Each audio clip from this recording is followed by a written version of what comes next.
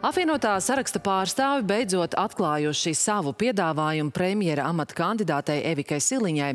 Viņa aicina jaunās valdības kodolu arī turpmāk ļaut veidot līdzinējām koalīcijas partijām un izvirza nosacījumus zaļo un zemnieku dalībai koalīcijā.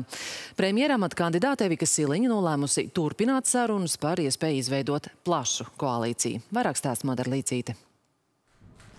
Apvienotā saraksta pārstāvi, no kuriem jau vakar tika gaidīta skaidra atbilde par dalību nākamajā valdībā, šodien pēc tikšanās ar valsts prezidentu atklāja savus nosacījumus premjera amata kandidātei Evikai Siliņai.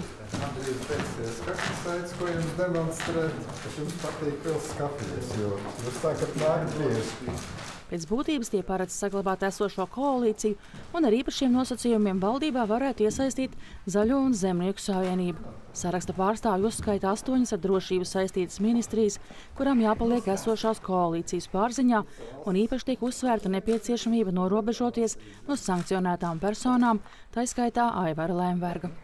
Ja jaunā vienotība ļoti vēlas iekļaut valdībā Zezēs, kas ir cieši saistīta ar Aivaru Lembergu, un tas ir viņa premjeramata kandidāts, tad šādiem nosacījumiem kā minimums ir jābūt, lai varētu virzīties tālāk uz paplašināšanu.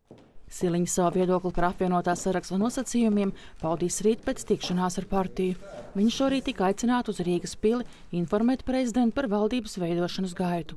Pēc sarunas ar valsts prezidentu Siliņa sacīja, ka vēl runās un gaidīs apvienotā saraksta gala izšķiršanos par piedāvājumu strādāt nākamajā koalīcijā. Es vēlos izveidot valdību, kurā ir cilvēki, kas grib strādāt un, un kuri ir ieinteresēti panākt tiešām tos rezultātus un darbus, par kuriem mēs esam runājuši. Esam devuši savu solījumu kā politiķi sabiedrībai.